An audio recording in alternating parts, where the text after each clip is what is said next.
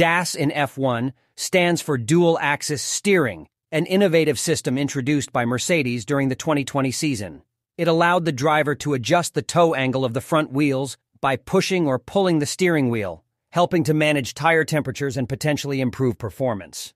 The system's use was deemed legal under the 2020 regulations, but it was subsequently banned for the 2021 season.